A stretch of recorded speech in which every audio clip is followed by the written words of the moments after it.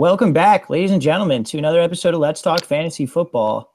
I'm your host tonight. My name is Nick Walsh. I'm here with my good friend, my good pal. I'm here with the DON, Don Chrisman himself, the DON MD, some might say, after the uh, the way he spoke about injuries last week, and I'm sure the way he will tonight. Don, what is going on tonight, dude?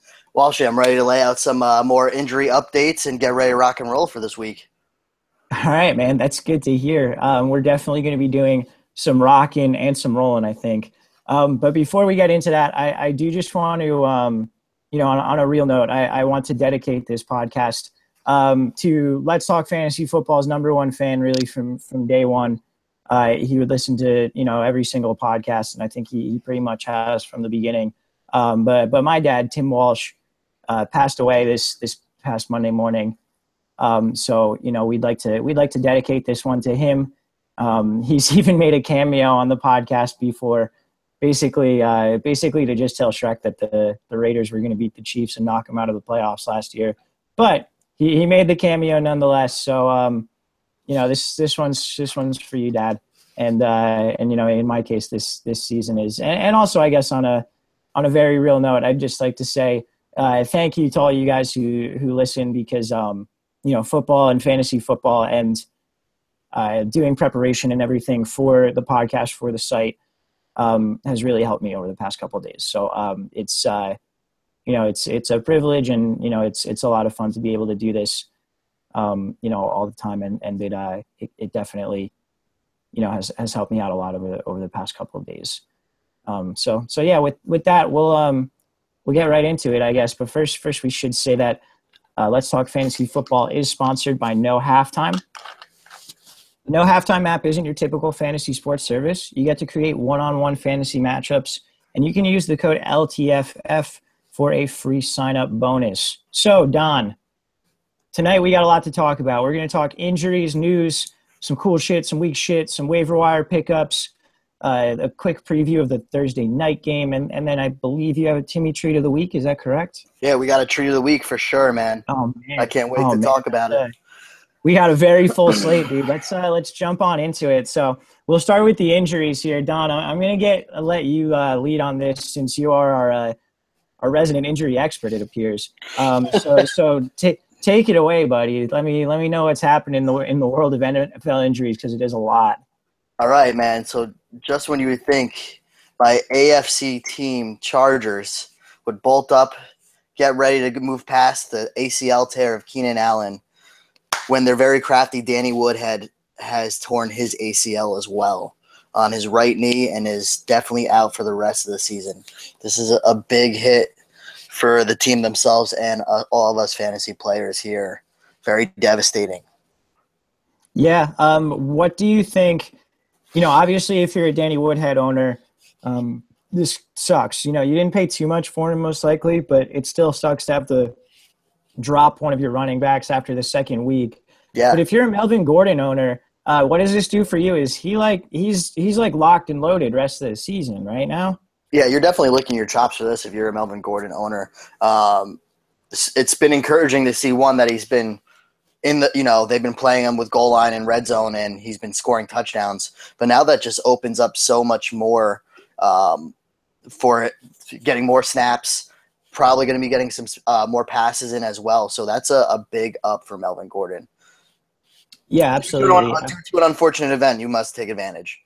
Oh yeah 100% you know we uh, obviously we don't like to see anyone get hurt but um, you know we uh, it get people getting hurt in the NFL leads to opportunity. Opportunity leads to fantasy production. That's something that we can take advantage of. Um, Adrian Peterson of the Vikings tore his meniscus. What's going on here?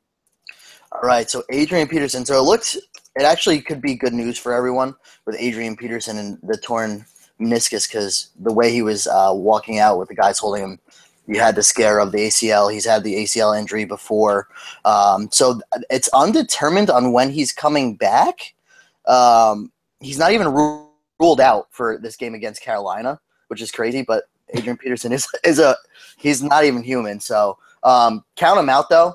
Uh, he's even if he were to play, which I I would doubt they would want to come come back right away, especially against a pretty stout Carolina defense. Um, but it's encouraging news that they're not even counting him out right away. So let him sit um, for this week. The only thing that is in question is who is going to be taking the lead back from here. At first, yeah, I thought. It, no, go ahead, Walsh.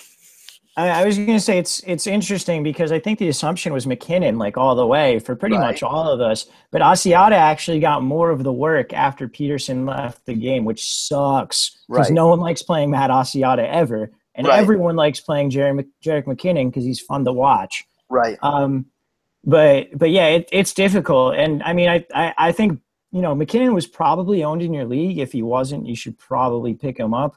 Would you add Matt Asiata? Yeah. The more that I've been hearing and, and reading about Matt Asiata, it looks like, especially because of goal line carries, it's going to be Asiata that's going to be, you know, uh, scoring the touchdowns if it's going to be anyone. Matt Asiata in 2014, when uh, AP was out, had nine touchdowns. And I'm pretty sure McKinnon had none. Yeah. So if you're looking for the upside, I believe I would actually go Asiata. Okay, that's uh, that's fair. It's it's going to be. I mean, like I get why they give him a role because he's a good goal line back and he's a good pass blocker. But man, I wish they would just make Jerick McKinnon the feature back because he's really fun.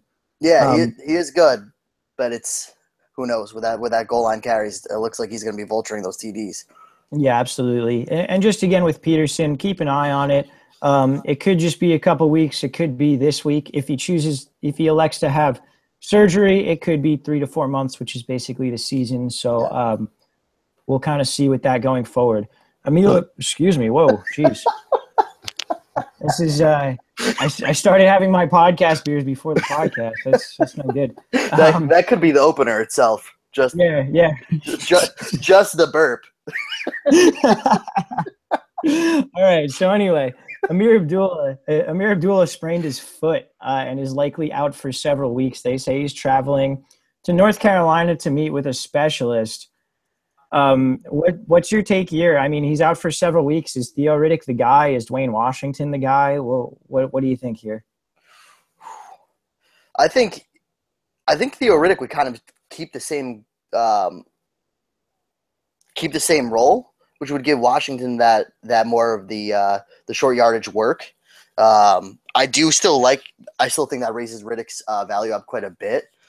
But again, I don't think he's going to be that. You know, the cowbell just run, running the, you know, taking the full share. So that's yeah, my, yeah. Theo Riddick's not like a you know he he's not in every single down back. So right. they, they they need someone to complement complement him. You would assume that would be Dwayne Washington. Right. But Riddick's gonna have an out like an you know an increased role, I would think, based on all of this, because Abdullah did catch some passes. Um, I, I think Riddick's like an every week starter at this point. Absolutely.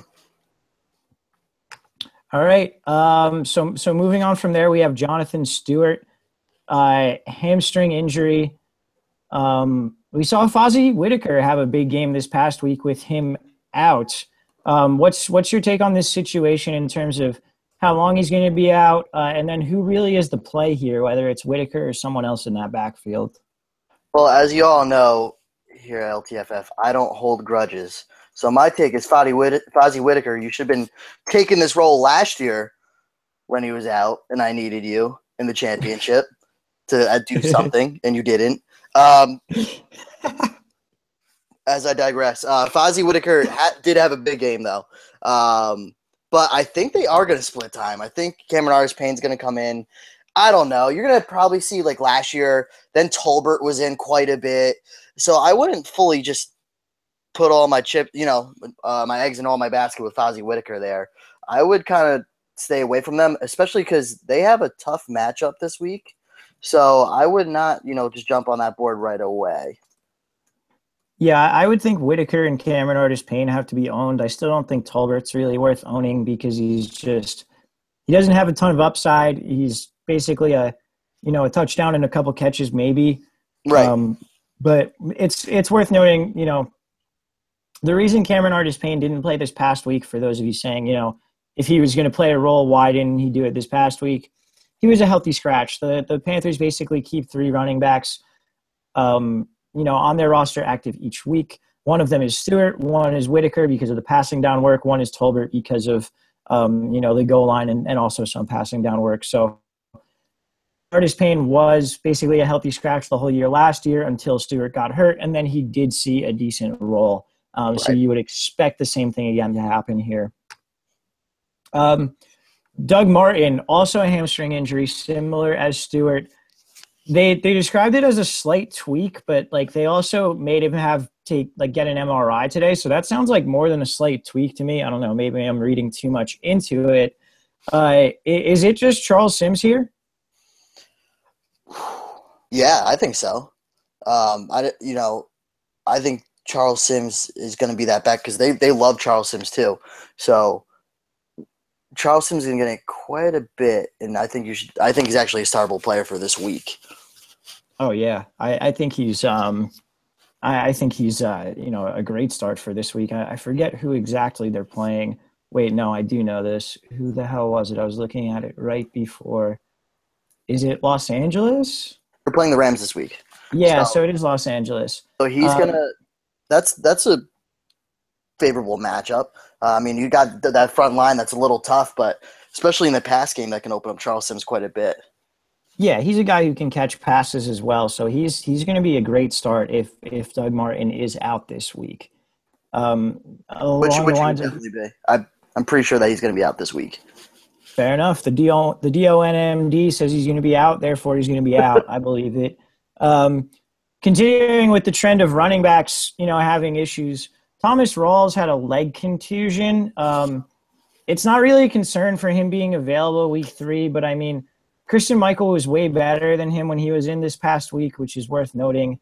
Uh, you know, he was hurt early on in the game, and, and kind of Michael had the rest of it, but um, it just muddies the waters here, really, right? Do you see any sort of clarity in, in this Seahawks running situation? Well, yeah, you know what? It's just another setback for Rawls, especially starting with the preseason and and, all, and not you know not being in the preseason due to hurt and sickness and them thinking that Michael's had a good preseason. Then we didn't know who the starter was right away, and now this guy has the starting uh, role last week.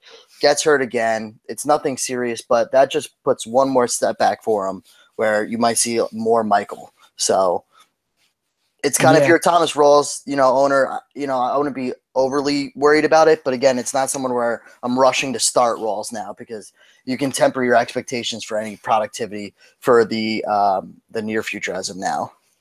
Yeah, I would agree with that. Um, Jimmy Garoppolo had a, was having a great game up until he sprained his AC joint. He was apparently limited in practice today, uh, but I mean they play a Thursday game, you would have to think that that he's not going to play a Thursday game after spraining his AC joint.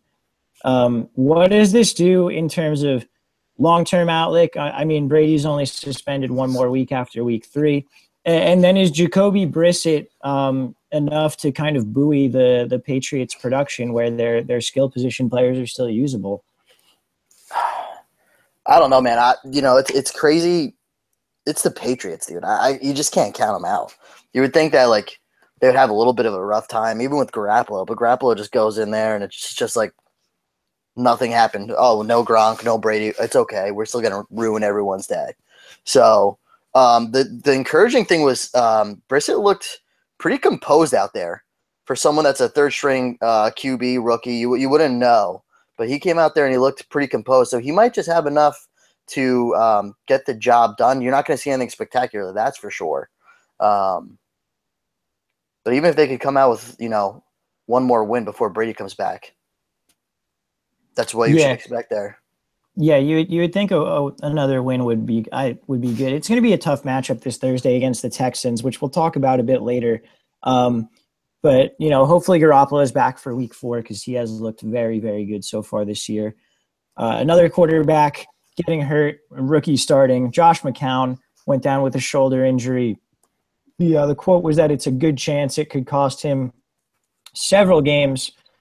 We saw him be kind of productive. Do you do you think Cody Kessler's you know like the I mean I, sh- I should mention Cody Kessler's going to start, but is is that a situation we should monitor? Is is that um, does that mean anything to you, or is it kind of just like, and eh, it's the Browns? Uh, eh, it's the Browns. Uh, what is it? I think Cody Kessler is the fifth QB to start for the Cleveland Browns in the last five weeks that they've played um, a regular season game. That's so, insane. That's that's the Cleveland Browns for you. Um, you know, it was it was nice to see. You know, kind of how we expected too. We saw um, a little bit more productivity out of your um, out of your fantasy players with you know um, with the Cleveland Browns there with McCown being in. You saw a boost, and we were all excited with you know him being in instead of RG three. But now you got Cody Kessler coming in. Um, temporary, obviously, every expectation you would have for the Browns, especially with him being in. So again, everyone downgrades now with McCown being back out. Yeah, Cody Kessler looked pretty pretty bad in the preseason. Uh, yeah. So I, I, I wouldn't really expect too much. Uh, right. Don, talk to me about the Jets wide receivers, Brandon Marshall and Eric Decker.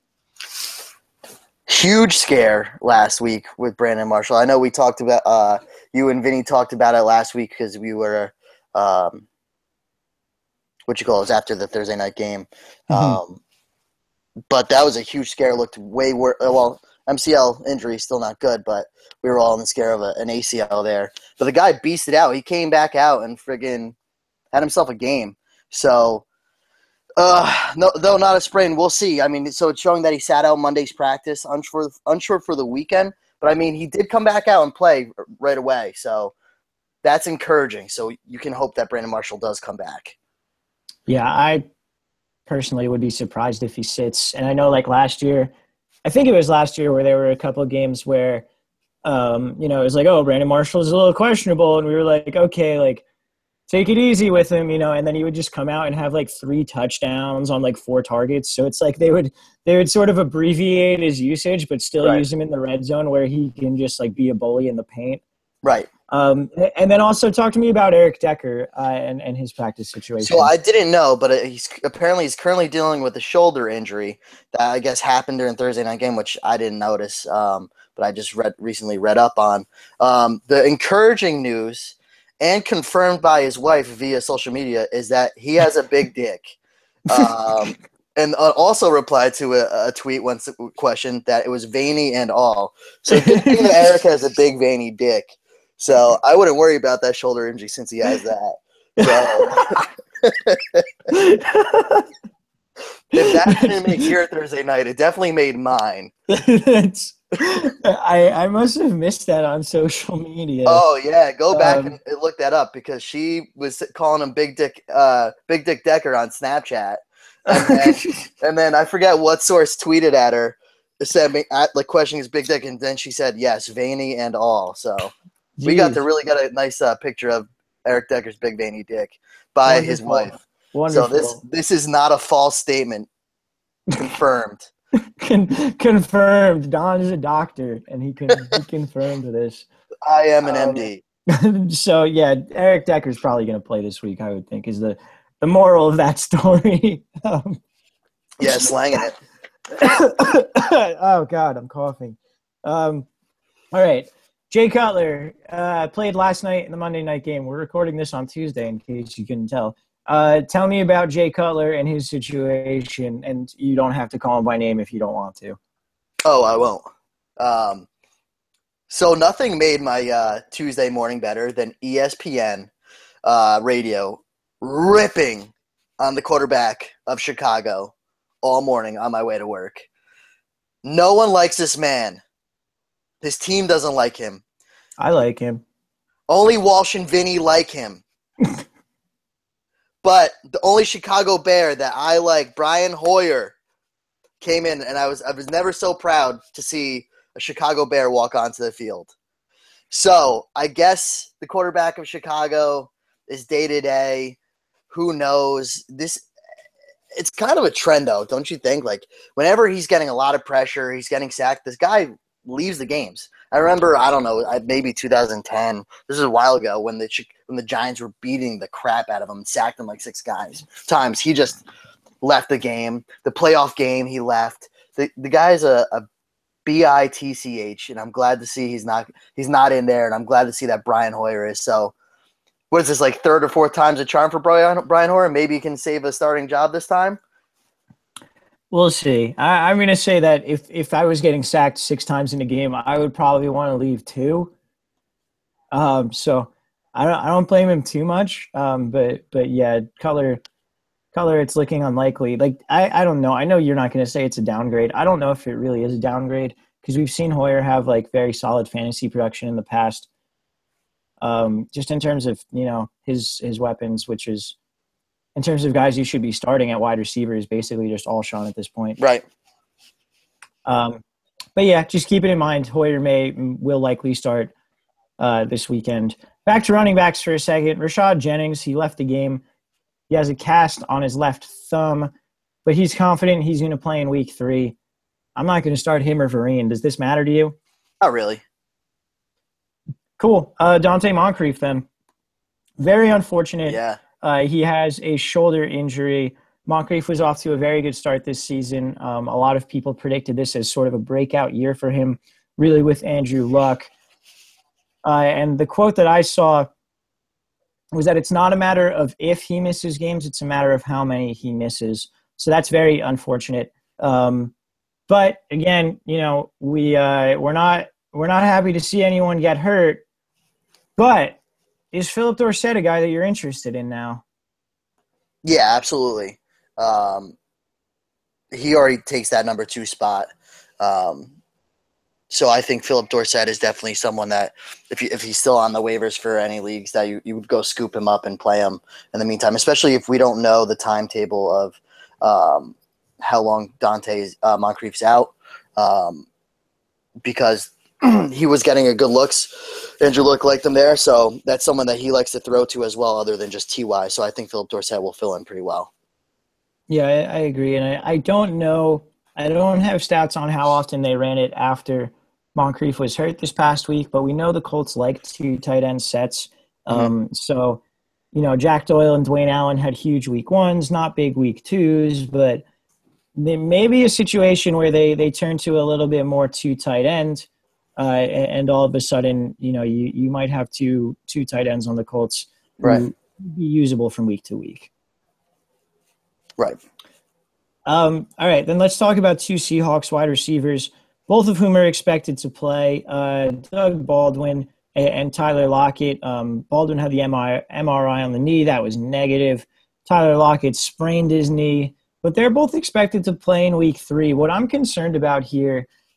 Um, is you know with all these guys with Wilson with Rawls with now the the you know Baldwin and Lockett they're all playing but they're all hurt. Beat up. Um is is this concerning to you if if you're you know a Russell Wilson owner even if you're not a, a Baldwin or Lockett guy?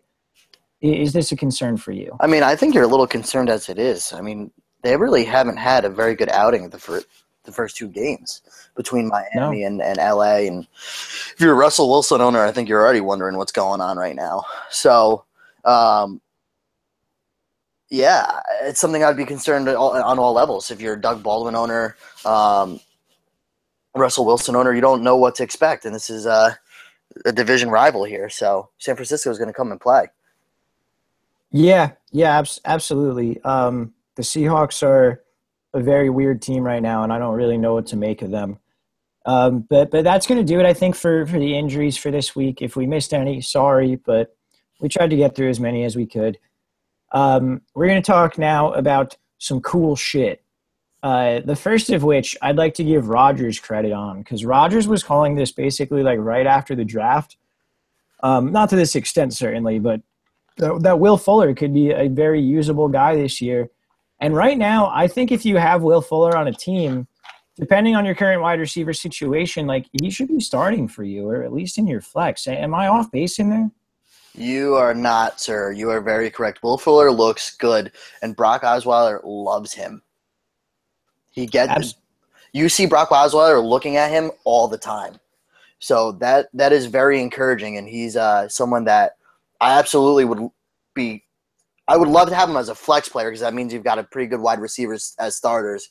And I would feel completely solid with having Will Fuller as, even as a flex. But even if your receivers are a little bit, you know, if you're not having, you don't have the great uh, receiving staff, I would be totally fine with him being just a regular starting receiver as well.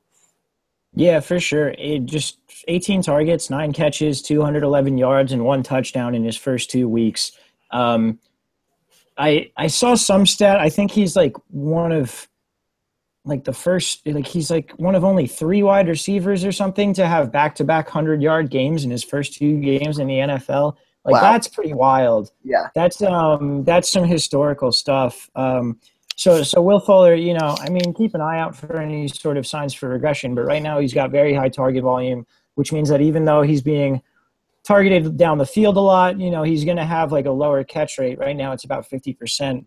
Um, it shouldn't really matter because he's going to get enough targets to make up for it. Um, so that is definitely very cool. DeMarco Murray, um, two touchdowns this week. He was PPR running back six. DeMarco Murray is looking like the targets that he's getting, even though he's not getting too too many carries, are really going to make him a viable viable running back the whole year. Yeah, I mean, it, you know what you're losing in in rushing uh, attempts you're getting in receiving attempts as well. Which so you know now that a lot of uh, leagues too are going to that PPR format, helps out even more for you. Yeah, a- absolutely. Um, Demarco's just been, um, you know, he's been very, very good so far. So, so keep playing him and, and don't worry about it. Uh, staying with the Titans, I'll, I'll skip over the next one in our notes for the moment. But staying with the Titans, Delanie Walker kind of um, after a disappointing week one, really, really came back and did well this past week. Um, six targets, six catches, 83 yards, and a touchdown. PPR tight end one. Um, is this a sign of things to come, or or is this kind of like a high week for him for you? Um, I, I mean, I think it was a very good week. Um, but Delanie Walker's always been that solid, consistent, you know, pass catcher for Tennessee Titans for quite some time. So I don't think it's a fluke. I think he's still going to be a top tight end. Um, he had a very nice game. So but I, I, would still expect him to be, you know, performing within that that level. Um, the only thing I question, you know, is is bouncing back to, you know, who do you think's going to be the, you know, the actual number one target for Mariota? You think it's going to be Delanie Walker? or you think Tajae Sharpe? Um, ooh, that's a good question. Oh I think, man, because I think that's like the biggest question now is you know who's actually gonna you know is it gonna be one week it's Tajae Sharpe, the next week's Delanie Walker or, you know what I'm you know what I mean or is there gonna be that consistent here's my number one guy and then next guy's getting this workload. I think let me put it this way. I think Tajae Sharpe is going to finish the season as the um, the guy with the most targets on the team, but mm-hmm. I think Delanie Walker is going to be a more consistent week to week fantasy option uh, because Tajae Sharpe is mostly tar- targeted on very short routes and sort of like possession receiver type stuff. And right. I don't think he's going to be a big red zone guy either, whereas Delanie is their primary red zone option. Sure. Um, so so yeah, let's uh let's move on to um Matt Forte, dude. Holy holy cow. Uh Matt Forte yeah. his his workload has been wild so far. He hit it uh, I think he hit his career high on Thursday. Um, which was a career high for him. Um, he had 30.9 PPR points. Um, Matt Forte is on pace for 472 touches this season. For perspective, DeMarco Murray's 2014 campaign, where he was like the ultimate bell cow of recent memory, he had 449 touches. Um, one, what's going on here? And then two is like, is is this something that like we should expect to continue? I I just I'm so shocked by it. I I don't think we should, but in the same sense, I don't know. I mean, they're already like, I think that's their game plan is to just ground and pound. But I think we all expected more Bilal Powell as well. Yes. Um, Jets have always kind of been a you know a ground and pound team, uh, whether it was Rex or Todd Bowles, and but they really are just loving Forte to stay in there. It's just like I wonder if like Forte's just like looking at the sidelines, like when am I going to get pulled, up, you know, for maybe a breather. Um, I love it, and a lot of the nice thing for a lot of uh, you Forte owners, me being one, um, everyone was a little bit down on Matt Forte this year, so you got him at a pretty good price. Yes. So I would say temper your expectations just a little bit. I mean, for he just hit his career high with rushing attempts, and the, the he's he's a seasoned running back. So you would assume, and he's had injury, uh, an injury history. So you would assume they would want to, you know, slow his roll a little bit with those uh, attempts, but he looks good, man. He's getting those touchdowns. He's getting good rushing yards. So uh, a very nice price that you have, Matt Forte.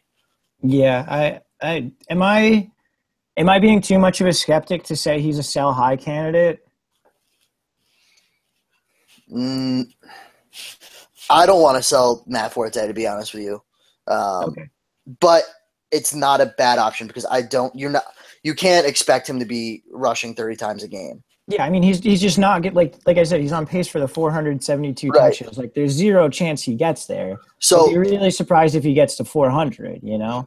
So if if you're someone with a lot of these injuries going on right now, there's so many injuries. If you're someone that's really depleted in um, in your receivers and you have a, you know a wealth of you know steady running backs, I would absolutely uh-huh. sell high to get the value now, so you can get yourself the receivers that it's worth, or maybe a little over the worth and um, you get the price now until you know you see that his carries do go down a little bit. He's not putting up such ridiculous points, so it's yeah. not it's not a bad option either.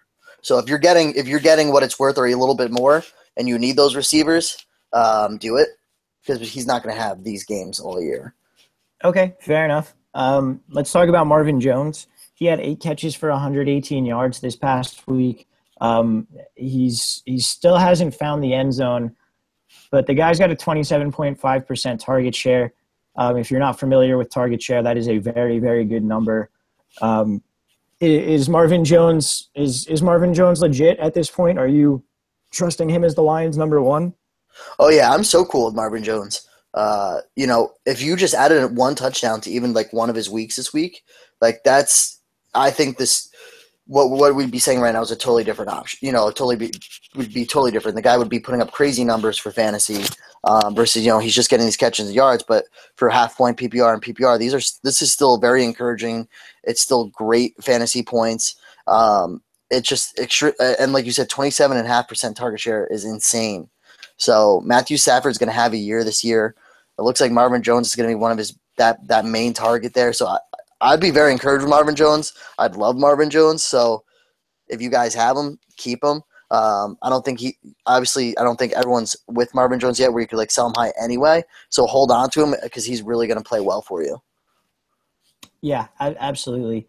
Um, okay, where were we here? Uh, Dennis Pitta is is interesting. He had 12 targets, nine catches, 102 yards.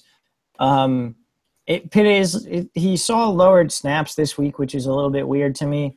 Um, but I, I mean, in this depleted tight end pool, I think he's he's a guy who should be owned in most leagues, right? Man, that's so weird. The bottomless Pitta. The bottom, bottomless Pitta, dude. He's back. He's back. I don't know, man. I don't buy this Ravens offense right now. I think it's so weird. Um, you got Mike Wallace pulling in all these touchdowns, which we're going to definitely talk about in a little bit because that makes me angry. Um, you know, Steve Smith's in there.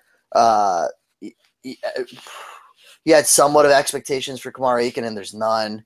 Uh, you got Dennis Pitta, who, oh my God, I, I don't know. Um, I would slow my roll on Dennis Pitta just yet. I would give this offense another week or two before we really figure out who's getting, you know, the actual main share of targets um, before we determine anything else and who's a okay. viable option.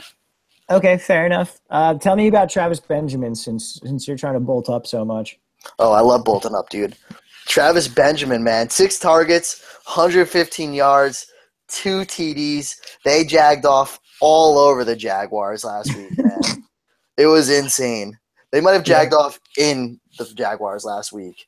Jeez, dude. So you're getting real graphic tonight. yeah, but it was it was a graphic game, man. Who would who would have expected that? In DraftKings, I loaded up on some Jags. I was like, oh, dude, they're going against San Diego. This is the week. and they just got shit on. Yeah. So, um, yeah, I mean, listen, we had some expectations for Travis Benjamin this year after seeing what he did in Cleveland. Um, but obviously, he was going to take a roll back from Keenan Allen. But with Keenan Allen being down, uh, you know, he really stepped in. I mean, it's still six targets, but 115 yards, two TDs. Philip Rivers, you know, he's gonna be th- he's gonna be slinging the ball a whole lot still. So, and especially with Danny Woodhead going down, that's one of his biggest targets that he's not gonna be throwing to. And you know, Philip Rivers is still gonna be throwing the ball a lot. So, it's very encouraging for Travis Benjamin, and I, I think that's he's going to be um, uh, playable every week. I think I'm right there with you. I'm, I'm buying in. Uh, Sterling Shepard, another guy who's been surprising so far this year. Well, maybe not surprising, depending on you know your expectations, I guess. But Sterling Shepard this past week, uh, eight targets. He ended up with 117 yards. The week before, he had four targets, uh, but caught a touchdown. Is Sterling Shepard working his way into um, Will Fuller territory as a rookie wide receiver who we can trust week to week? Yeah, absolutely. Uh, ben McAdoo offense. Eli's looking great. I think the greatest thing, and I think it, it really sucks for Odell Beckham owners because I think Odell Beckham owners are taking away. Uh, the, I mean, not the owners. Odell Beckham himself is taking off taking off so much pressure for Sterling Shepard and Cruz that that's what's leaving them open so much, and that's why you're seeing such great productivity from those two guys, and what's hurting Odell Beckham. So we had um, they were talking pretty high about Sterling Shepard this year. He's showing up. Eli Manning trusts him. He's, he's I think he's had 12 targets in the past two weeks. Correct. So that's and he, and he and he and he's a nice slot receiver, man. He I was just you know watching some of his routes today on uh, the uh, NFL Network, and he's good. So I think he's the real deal. I think he's going to be a he's going to have a nice rookie year. That's for sure. So yeah, and especially in that offense, I think all three of those receivers are just they're going to have some some good stats as long as they all stay you know healthy, especially Victor Cruz. So that's fair. I, am a little skeptical um, that that Shepard will be usable week to week, just because I think it's it's probably more likely that him and Cruz kind of um, alternate usable weeks, um, mm-hmm. and it's going to be a little difficult to predict. Um, you know, with Beckham obviously still being the guy that you can use every single week um, right. without really a bunch of worry, but it, it is certainly a situation where in games that they have to pass a lot, I, I think Shepard will will end up being a very very nice play. Um, speaking of being a very very nice play, often Stefon Diggs, man, jeez, yeah, yeah, he torched the pack. Who admittedly didn't have Sam Shields, who's their number one corner, and likely would have covered Diggs. But man, talk to me about Diggs a little bit. All right, so um, you ever see the the movie This Is the End? No, I actually haven't, and my roommates keep telling me I need to watch it. Oh wow, okay. So I guess this isn't gonna make this as um, glorified, uh, or I, I guess I, I don't know if I, I had a, uh, I, I don't know if I even want to say it. I don't want to ruin it for you, but, but you know, uh, I'm sorry, Walsh. You listeners that seen this is the end. The best way to describe this is at the end where Danny McBride has Channing Tatum on a leash as his bitch like that's what Stefon Diggs did to Damarious Randall in this game. Damarious Randall was literally Stefon Diggs' bitch, and he just ran all over the guy. So it was really upsetting uh, week for me watching Packers lose like that. Stefon Diggs is the man, and I think the Vikings should be so happy that they reached out for Bradford because this, even though you know we like Teddy, um, Teddy's an overall, you know, athletic quarterback who can run the ball, but definitely not as good as a passer as Sam Bradford, and that's what the Vikings need. Um, we're going to hit um, Kyle Rudolph as well, but I think for the pass catchers, this is the best quarterback, and this is what they needed. And for any Stefon Diggs owner, you should be very thrilled because you're going to see productivity every week from this guy. He's super talented, and he's got the quarterbacks that's going to throw to him every week on a consistent basis. Yeah, uh, Stefon Diggs is hashtag good and should be started every single week. Um, so we can, we can go from there.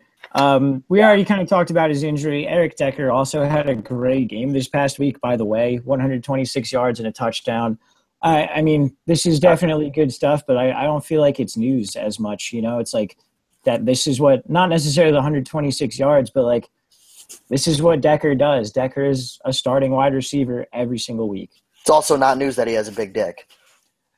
Apparently, it's not. Um, uh, apparently, this is this is uh, this is this is uh, what is it? The uh, the um, the the Unsullied in Game of Thrones. Oh, you don't watch that either. Where they go, it is known. Apparently, it is uh, known. Yeah. Oh man, we're really missing on these. Uh... Yeah, we're just we're throwing out references that neither one of us gets. Um, but anyway, hopefully some people do. I don't know. Um, let's talk about Matt Ryan, who's who's been great so far this year. Um, almost 400 yards and three touchdowns and a two point conversion. How about that against the Raiders, whose defense is apparently terrible after I thought it was going to be very good. Uh, but Matty Ice, is this legit or has it been two good matchups so far? Matt Matty Ice always has a history to start off strong, and he always has a history to start off bad, uh, to finish bad. Regression, regression is always fucking real for Matty Ice. So, Fair enough. Um, I mean, ride the train while it's hot, man. If you're if you have Matty Ice, like play it while he's hot, but once you see that, di- you know, that digression, it don't be surprised. That's all I Yeah. have to say. Matt Ryan always finds a way to just like slow down. So we, year after year. Yeah, I, I think he's extremely matchup based, and he's he's had a couple good matchups. Um, Yeah. But that being said, when he has more good matchups, don't be afraid to play him in the future. Absolutely. Um, Dez, Vinny and I talked about this after you know Dez had the one catch on the five targets. Dez got targets. Like it was the Giants' defense. The Giants schemed to take Dez out of the game and purposefully left Witten and Beasley open. That's something that they've done in the past. They did it again here. Dez this week, 12 targets, seven catches, 102 yards. Um, he's going to have touchdowns on the way, too. We know Dez scores touchdowns. Double digit touchdowns isn't like an if for him, it's a when. Yeah. Uh, so if you're a Dez owner, are you completely cool now? Yeah. I mean, if you were to panic after week one, that's crazy. I mean, listen, Dez Bryant is just, just physically before he even gets on the field, uh, is just a matchup disaster. He's he's a big dude, fast. So on top of he's super sil- skillful, um, it's just Dak Prescott getting comfortable. Obviously, you saw that first game. Uh, it was the Giants scheme, but also it was his first game, so he wants to check down, make sure he's making the easy passes. Once he's getting more comfortable out there, you're going to see the deep balls being thrown to Dez. You're going to see Dez go up for those crazy catches. So um, you guys should be fine. Start Dez. Don't be silly. Agreed. Uh, Corey Coleman had a huge game, two touchdowns. Uh, you know, we know McCown's not there. Is this repeatable, or is this sort of just a well, it happened, and now we can't really use it?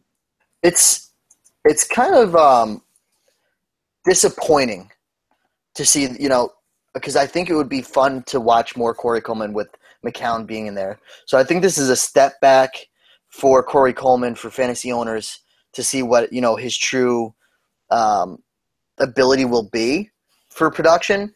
Because obviously, with McCown being out, we don't know what to expect from uh, Corey Coleman. Not being Corey Coleman's fault though, so I wouldn't go into throwing him in the lineup right away again, um, just because of the quarterback issue. Agreed. Uh, D'Angelo has been insane so far this year. Um, it's a I'm as someone who owns D'Angelo in a couple leagues, I'm very very sad because I don't also own Le'Veon Bell.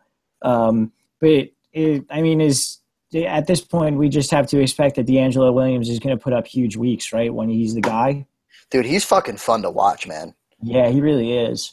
He's uh, he's a ton of fun to watch, um, particularly when he's scoring a bunch of points for you. Yeah, Yeah. I mean, what do you think with Le'Veon coming back? Once Le'Veon comes back, right? This is the last week that D'Angelo's the the actual full starter. I mean, but you got to think like they can't just not play D'Angelo. Like he's obviously he's not going to get the whole uh, the the primary workload. Um, but I mean, you can't you can't deny what he's doing out there. It's just yeah, he he's he's insane. he can't rot on the bench, and and I don't think he will because I think the Steelers, you know, they they know Le'Veon's injury history. Um, Right.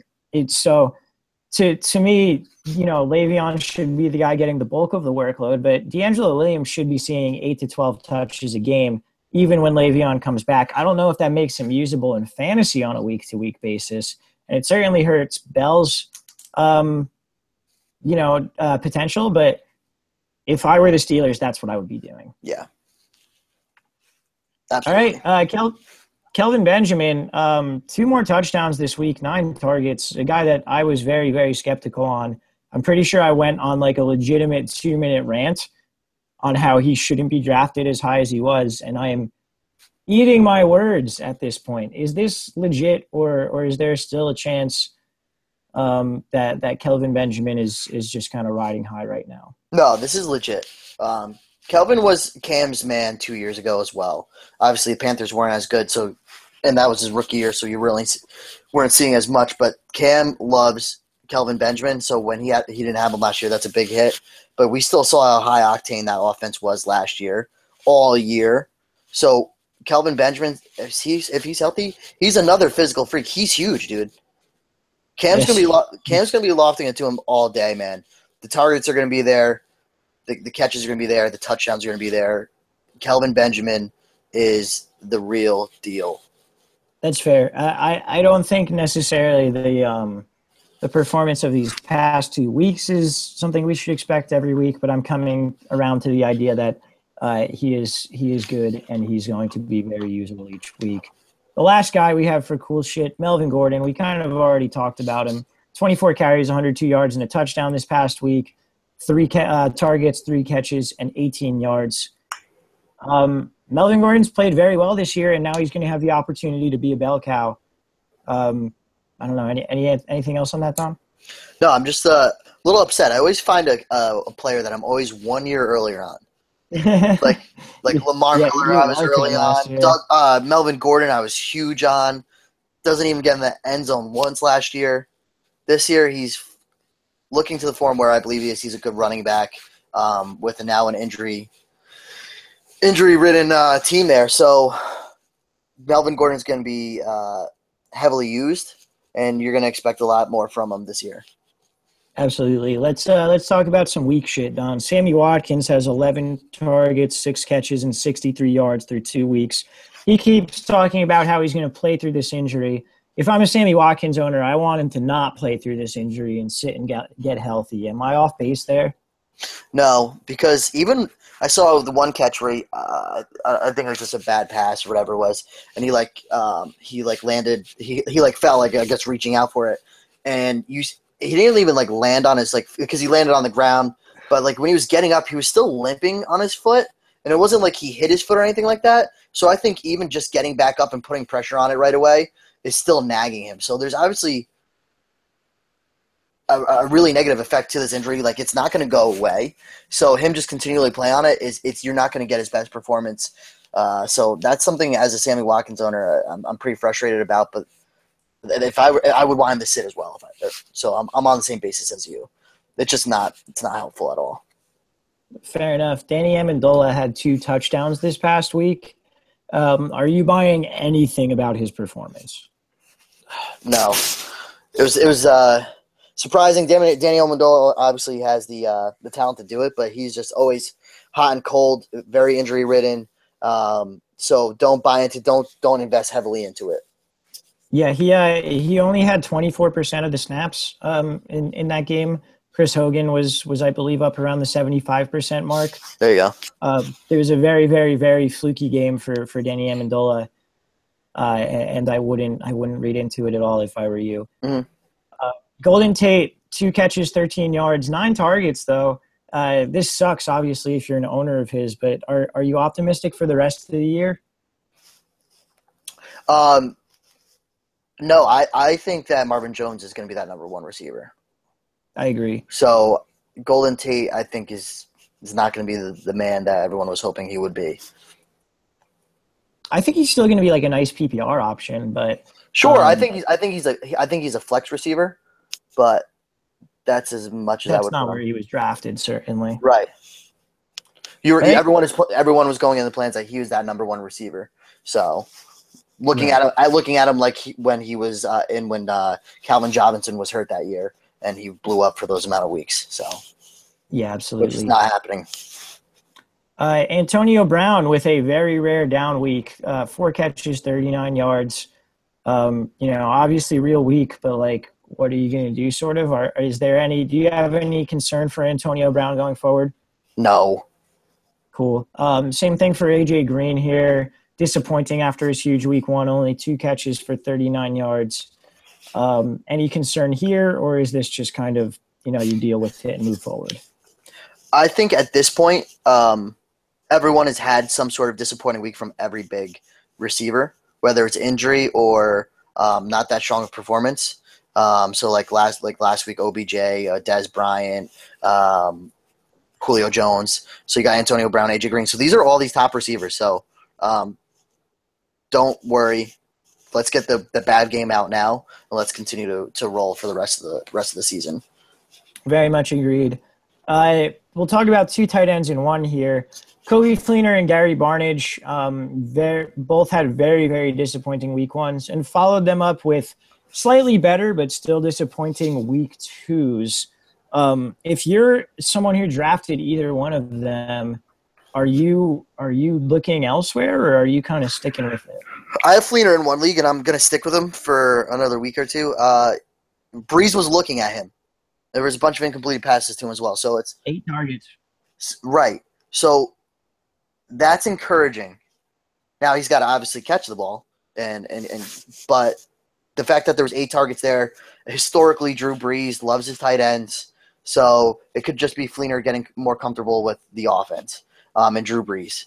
Um, now Gary Barnidge, again, he's got to deal with quarterback issues, like the Browns always do. So that's someone where I would start possibly looking elsewhere. I think I'm on the same page as you there. Um, you know, the old maxim is rookie quarterbacks love their tight ends. Um, I, I, I don't think it's really worth it to try and to try and uh, target a guy who's underperformed relative to expectation the first two weeks, who now has a third string rookie quarterback as his as the guy throwing him the ball. Right. Um, Fleener, you would think unless he performs so badly moving forward that um, you know he starts losing snaps, he's got to just naturally kind of get back to um, at least like okay production. I mean, he's got a 25% catch rate so far this season. This is a guy with a historically uh, a high 50s ish catch rate. Right. Um, so you, you, would think that at some point that will kind of get back to its normal. Um, Mike Wallace, two touchdowns this past week. Uh, is this is Mike Wallace? Is his production repeatable? Should you be starting him? I mean, they're going against Jacksonville next week, and then the following week is Oakland. Again, like I said, I don't really know what to gauge on this, this Baltimore offense right now. I don't even know how to fathom the fact that Mike Wallace is blowing shit up right now and has what does he have three TDs in the season already? He's touchdowns. He's he's like a he's in he's a top ten receiver at the moment. Uh, I don't I don't think uh, any players wanted to give me more of a migraine than Mike Wallace and watching this shit happen. Um, I don't know. I mean, you can. He's got some favorable matchups uh, if you have them, uh, and your receivers are you know decent, or you don't have those those stud receivers. I would still play him, but I, I don't really I don't really want to expect that this is going to be all season. So, but again, I don't know. I really don't know how to gauge this offense. Like I said earlier, so I kind of want to watch what goes down and see who the primary targets stay to be.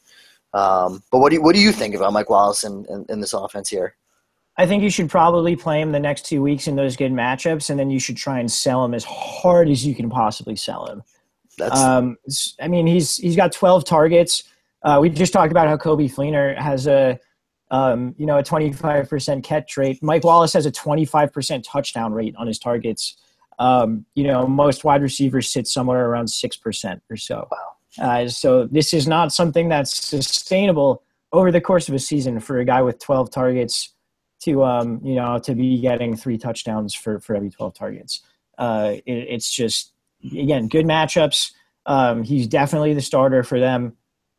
You should sell him after the next two weeks, is what I think. I think that uh, is the best advice. Absolutely, good job, Walsh.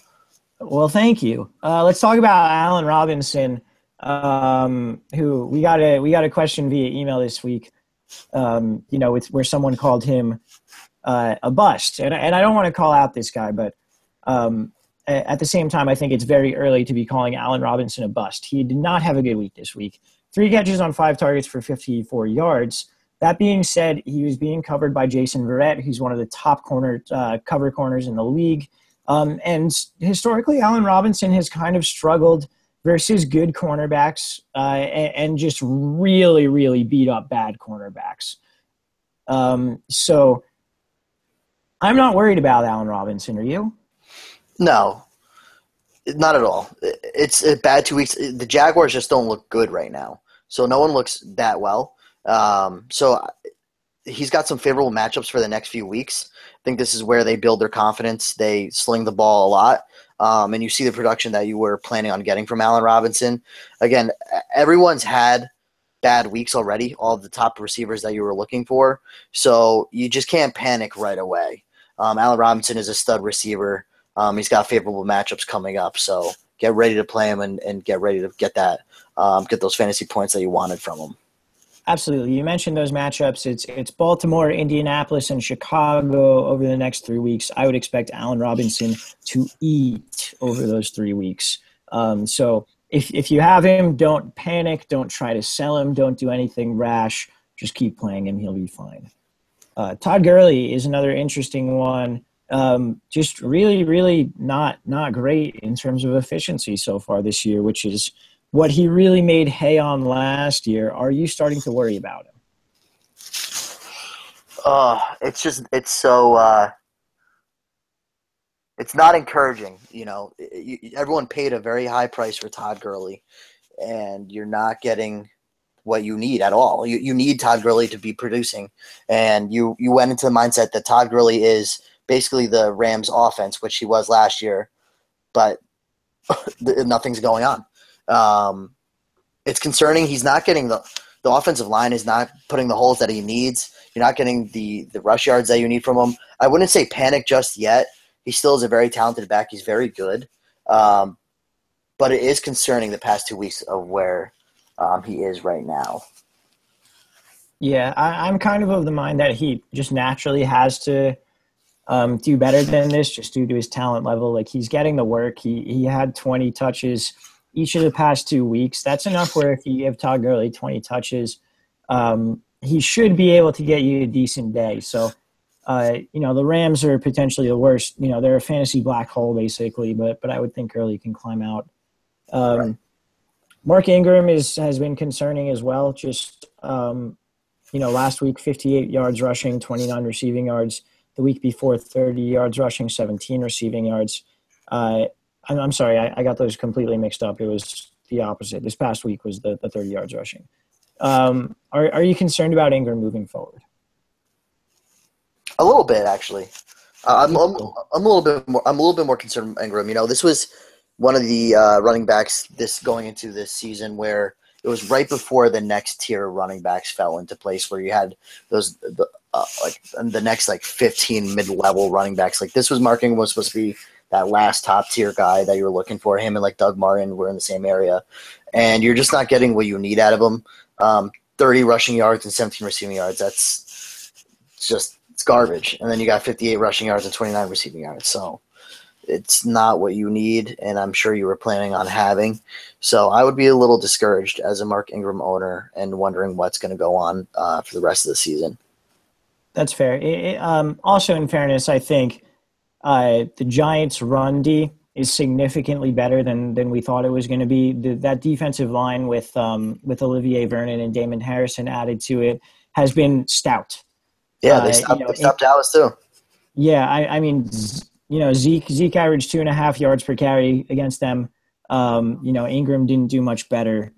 I, I think that might be a case of the Giants are a defense potentially to avoid running backs against this year rather than Ingram being bad. But his snap share is also concerning. 58 mm-hmm. percent last week. That's that's not what we wanted. We were expecting closer to a 70 or 80% for right. Ingram.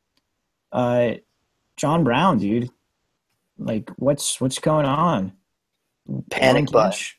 One catch? Are you are you ejecting? Are you ejecting from the John Brown plane? I'm like not cool with John Brown right now.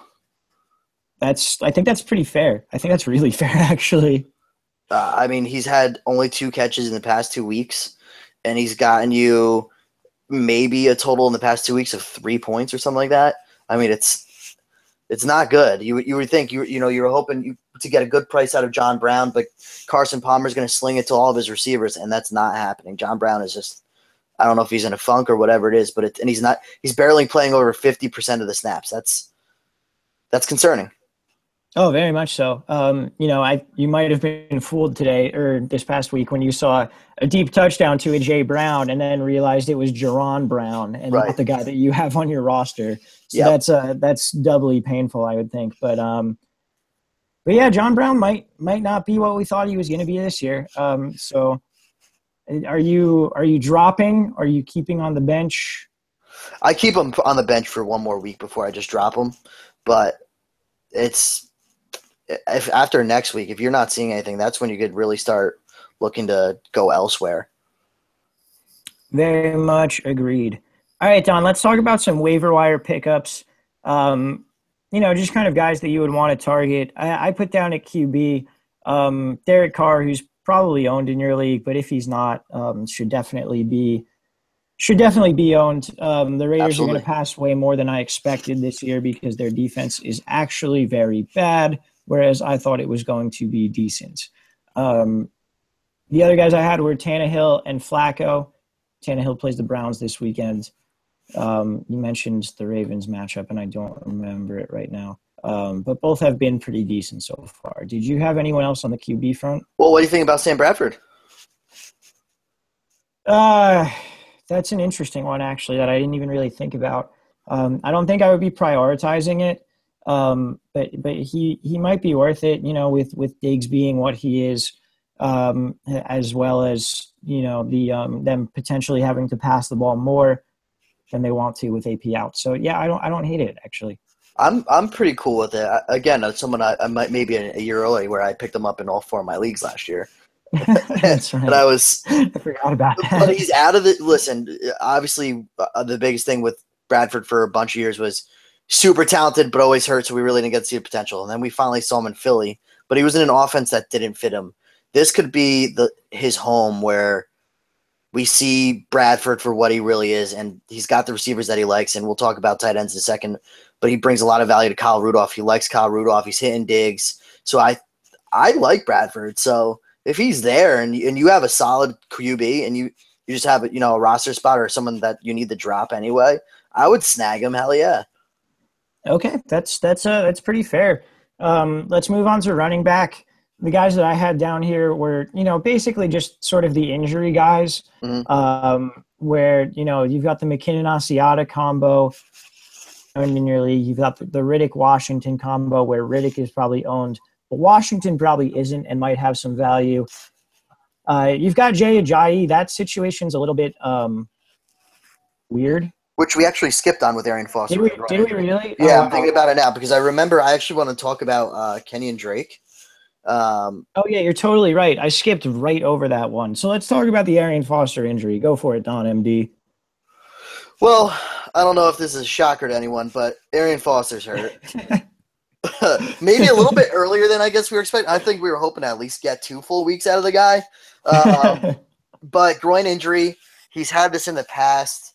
Um, it's looking like he's iffy for this week. So I'm gonna just just say he's not gonna play this week. But who knows? He could.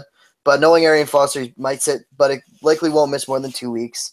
Um, but there is a mix of uh, running backs here. I think they've kind of lost.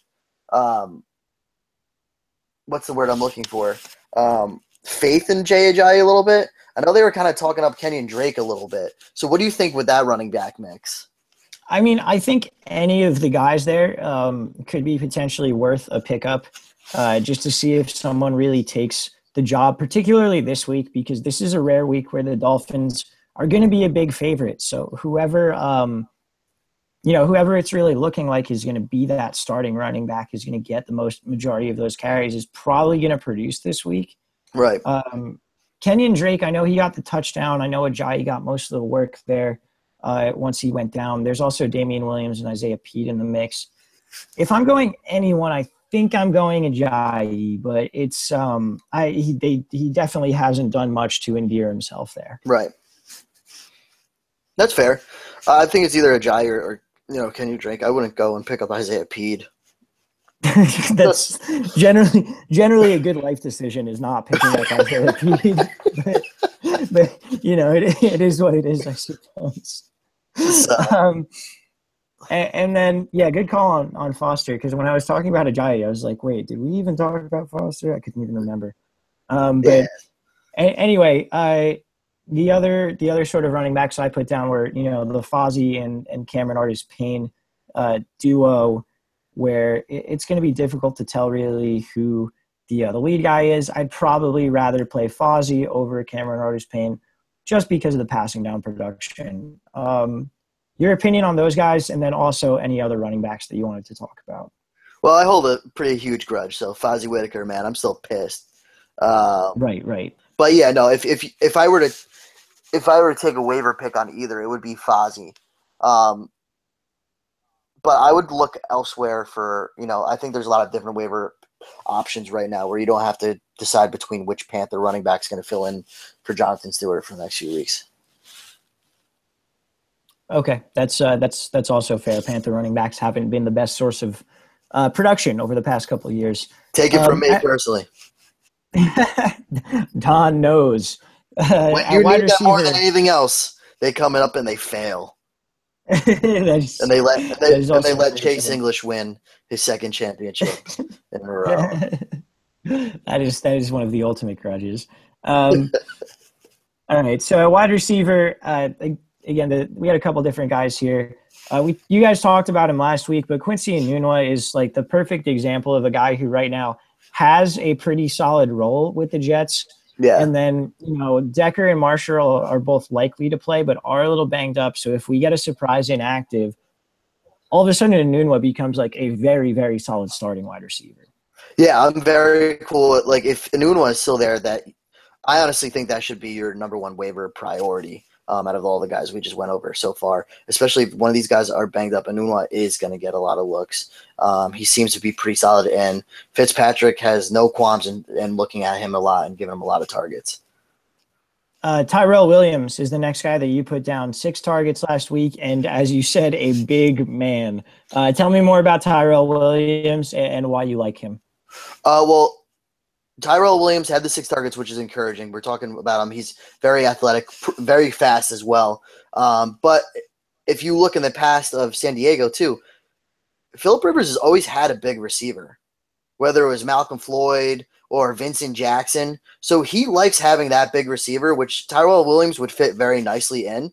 So especially with you know his main man Keenan Allen being out, even though I think Travis Benjamin is definitely that that number one guy. Uh, Philip Rivers is going to be slinging the ball. Like I said, Danny Woodhead is out, so Tyrell Williams I think is going to be is going to fit in very nicely um, right in that spot there. Yeah, he's to me. He I think he's like a kind of a boomer boomer bust guy, but um, he's when he booms, he'll probably be a pretty big boom. So definitely worth a, speculative ad. And then the last guy we had here, we talked about him before, was Phillip Dorsett. Don and I both agreed that he was a nice add going forward as the the um, you know the presumptive second wide receiver on that Colts team until Donte Moncrief comes back. Were there yeah. any other wide receivers you had, or did you want to talk about Dorsett? no, well? I just want I just want to say like Phillip Dorsett's a very safe pickup. Yes, I, I agree with you there. Um, okay, uh, let's move on to tight ends. Um, we got a couple of them here. Uh, you you've already alluded to Rudolph, so we'll skip a, we'll skip ahead to him here. Um, Kyle Rudolph uh, is is interesting. You you seem to be about the Vikings pass game. Uh, I think I'm buying into Kyle Rudolph. Why should we like him? I think Kyle Rudolph is actually going to have the best year yet. Um, Kyle Rudolph has always been that that guy. Obviously, Vikings like him. They signed him. Uh, what is it? Two years ago with a nice contract. Um, but we always saw, and we were then we had high expectations after the contract. But he's always a touchdown or bust type guy. Where Bradford liked slinging to him last week. So, like I said, I'm just invested in Bradford in this offense. Um, I think he's going to bring a lot to the table for all pass catchers, and I think Kyle Rudolph's going to be that guy that's not just going to be um, an end zone target, but an, a target in general. Yeah, um, you know, you you guys have heard me talk a lot about target share. Uh, you know, this podcast and in the past. Um, Kyle Rudolph's target share this year has been 25%. That is a lot. Uh, yeah, uh, he is clearly the second target on the team, um, you know, ahead of guys like Charles Johnson or any of the other wide receivers or running backs. Um, this is when a, when a tight end is going to get 25% of a team's targets, that's someone that should be owned and probably started every single week. Mm-hmm. Uh, all right, the other guys we had here were Jesse James uh, of the Steelers. He had a touchdown this past week, played 100% of the snaps. He's gotten 12 targets over the past two weeks. I've said before, six targets a week is sort of that number I look for uh, for a tight end. Do you have any anything to add on Jesse James? I would just say the only thing is for anyone that's in a standard league, though, um, Jesse James is not a big yardage tight end so far. Looks like he's a lot of targets, but uh, more of like short yardage guy. I uh, got in the end zone last week, so maybe just a, a, red zone target as well. But other than that, for like, it goes a lot more of a long way with those those six targets each per game for like the half point PPR and PPR format. But for standard, he really isn't. If he didn't have that touchdown, he's really not having that much of a, produ- a fantasy productive uh, past two weeks there. You are very correct there. Um, that's that's definitely a good point. Uh, Trey Burton of the Eagles had a very nice game Monday night. Seven targets, five receptions, 49 yards, and a touchdown. Only in on 43% of the snaps. Um, is this someone you're you're interested in, or is it kind of just like, yeah, it was one game against the Bears? Actually, that is a good question because do we know the timetable yet? Did that come out with Zach Ertz? Uh, that's yeah, I'm not actually sure. Um, that's that's probably something I should have. Wow, so they're they're actually saying that he's a game time decision for Sunday against the Steelers. So okay. um, he's already day to day, which means if that's the case, I think Trey Burton already loses his value. So, yeah, no, you're. you're if any, right if anything, you know he, that I think that Carson Wentz does like his tight ends, but if if Trey, if Zach Ertz is already coming back, Trey Burton might not be um, the best option unless you're in a deeper league and you need someone to play, and Zach Ertz isn't um, isn't not going to play. Then that's something you could probably stream for the week for more of a tight end roulette type of deal. Right. Uh, and then the last guy we had here was Clive Walford. Um, he had six target targets this past week. He got a touchdown. Um, I, you know, I said before, uh, the Raiders are going to have to pass a lot. It looks like based on how their defense has been so far this year which is not good at all to my chagrin. Um, so Walford to me is is kind of a guy you should have in that streamer tight end roulette type table. Yeah, that's that's fair. I think he's a he's a top tier tight end in the uh, uh, tight end roulette. All right, um, so I think that's going to do it for for our waiver wire uh, pickups this week. We'll do a quick preview here of the Thursday night game because um, we won't be getting to that game with the rest of our weekly preview. Uh, it's Houston at New England here. Houston's a one point favorite with a 40 and a half point over under. Uh, my my thinking is this probably just isn't going to be a great source of fantasy production. What's what's your what's your take here, Don? Yeah, that's a good question. It's it's worrisome when you know that Julian Edelman might have to come in as a quarterback. That's certainly a point. So yes. it, it could be more of a just a defensive game. Um, obviously, with Houston having a good good defense and New England always come to play no matter who they come for. Um, it's going to be tough to say who's going to be, you know, who to play New England wise for fantasy production because you don't even know what to expect at this point. Um, for Houston, though, I think you know you have better options between. I think you obviously you still play Lamar Miller. Um, you you play uh, DeAndre Hopkins, and like we said earlier, we like Will Fuller. We're invested in Will Fuller. You play Will Fuller. Yeah, I, am I'm, I'm right there with you. You're playing your Texans that are kind of your guys that you play every week. I think on the Pats, the only guy I really want to play is Edelman. Um, dependent on Gronk's status, which I'm really not sure um, at this point. I don't think they're sure at this point. Especially if Edelman goes in as QB, he might get some good passing yards for you. Just that that Edelman to Gronk connection in the red zone. Oh man, that would be so much fun. that That'd would be, be pretty fun. Yeah, that would be that would be great. Just like two extreme bros, yeah, just like hooking up in the end zone. I would like that a lot. Um, anyway, um, I yeah, I mean, there's there's not much here in terms of um, you, you, know, to overthink things in fantasy. What do you think for Patriots running back? Obviously, you saw a 250 pound LeGarrette Blunt leap over someone. Yeah, he had like a huge week this past week. I wouldn't trust either of them because yeah. it's not a situation where they're going to be behind a bunch. So James White would likely be the guy, and it's not a situation where they're likely going to be ahead of a bunch, um, which would make Blunt the guy. I don't want to play either one. It's fair. It's um, fair. So I, I, think that should probably do it. Uh, Don, let's wrap it up for the week two recap podcast with the Timmy Tree of the week. Before I do the Timmy Tree week, who do you pick to win the game? Oh, good call. I'm picking Houston. I want to say Houston, but I'm going to go New- New England because I just can't ever bet against these guys. They're just That's fair. they pull some crazy shit all the time. So I That's very fair. so I got two for tree uh, for uh, who I'm going to bring up with tree of the week. The first one is the quarterback of Chicago. Man, do I love putting him right Oh here. God. Always the winner. He's he's always the treat of the week in my books. Um, my God, man, just step up. I mean, your team hates you, dude. Uh, we hate you. Besides Walsh and Vinny, the only two people that probably like you. I like you, Jay. Um, I think you're a good guy. And then my second is not the treat of the week, but the man of the week, Mr. Walsh. This goes out to you. Cheers, sir. Uh, I just want to say thank you for all of your support. It just shows um, someone that you know really didn't play fantasy football, but shows the man that he is. Supports his son so much that he listens to all of our podcasts. He gets to come on here and talk trash to our to our beloved Nick Shrek with the uh, divisional rivals. Um, we love you. We love you, Nick. So um, cheers to you, sir. You are definitely earning the man of the week. Well, well, thanks, Don. I uh, I appreciate that. Um, and I, I, think on that note, we're gonna wrap it up for this week. So uh, thank you guys for uh, for for listening in tonight. Later podcast.